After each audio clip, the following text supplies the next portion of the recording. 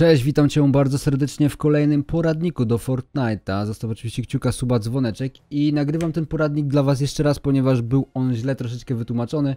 I zajmiemy się dzisiaj zadankiem zbadania anomalię wykrytą na Rekiniej Wyspie, więc lecimy oczywiście na plac zabaw. Dobra, więc lecimy sobie na Rekina oczywiście, nad Koralowy Kasztel. Tutaj w tym miejscu lądujemy mniej więcej.